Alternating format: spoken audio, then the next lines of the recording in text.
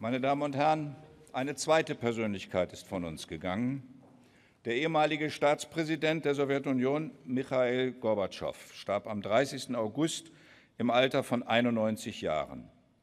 Gorbatschow hat die sicherheitspolitische Architektur Europas und der Welt nachhaltig verändert. Statt auf Konfrontation setzte er auf Verhandlungen. Seine neue Offenheit dem Westen gegenüber ermöglichte die Wiederaufnahme von diplomatischen Gesprächen und brachte letztlich in der Folge den Eisernen Vorhang zu Fall. Nach seiner führenden Rolle bei der Neuordnung der Ost-West-Beziehungen wurde er 1990 mit dem Friedensnobelpreis geehrt. Gorbatschows Reform- und Entspannungspolitik ebnete den Weg in eine friedliche deutsche Wiedervereinigung und somit unsere gemeinsame Zukunft. Durch sein Ja zur deutschen Einheit wurde auch die Geschichte unseres Hauses neu geschrieben.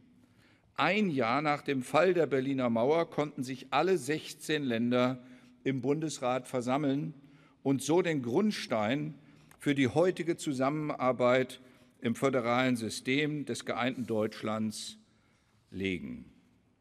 Mit Gorbatschow verlieren wir einen Staatsmann, dem es gelang, eingestürzt geglaubte Brücken zwischen Ost und West neu zu errichten und schließlich die Teilung Europas und Deutschlands zu überwinden. Und ich betone an dieser Stelle, friedlich zu überwinden dass dabei kein Schuss gefallen ist und in der Bundesrepublik Deutschland und in der damaligen DDR nichts Schlimmeres passiert ist, danken wir auch Michael Gorbatschow und den Menschen, die alle bei Vernunft geblieben sind.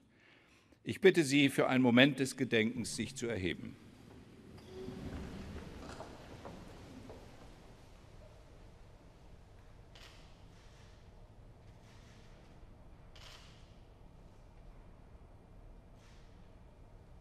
Ihnen.